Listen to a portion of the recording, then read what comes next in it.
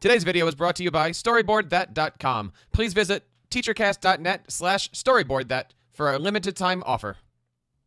Hello there. Thank you for watching our video, An Introduction to KidBlog from TeacherCast University. In this video of a new online course from TeacherCast University entitled KidBlog, An Introduction to Blogging with Your Students, we will take a look at the brand new kidblog.org and discuss some of the reasons why your class and your students will enjoy creating their digital portfolios using KidBlog. My name is Jeff Bradbury, and I've been using KidBlog for the last four years with my students. Throughout this series of videos, we will be looking at the newly redesigned kidblog.org and demonstrating to you how you can sign up for this free blogging platform and teach your students how to be safe and secure digital citizens. The first thing that we want to do is visit kidblog.org.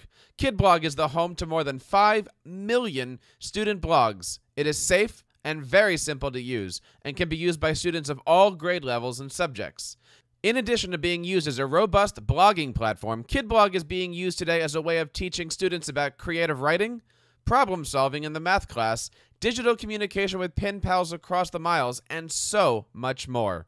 The complete series of this online course can be found on our website, teachercast.net slash learn kidblog.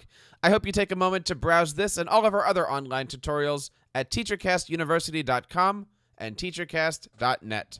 We want to take a moment here and say thank you to everybody out there who's watching or listening to the TeacherCast Educational Broadcasting Network. There's, of course, several great ways that you can participate in TeacherCast each and every week. We love it when you find us on Twitter at TeacherCast. Like us on Facebook over at teachercast.net slash Facebook. Subscribe to our many audio channels and video channels over on iTunes. Email us at feedback at teachercast.net. Find us on Pinterest. And of course, subscribe to our YouTube channel at teachercast.net slash YouTube. The TeacherCast Educational Broadcasting Network. What do you want to learn today?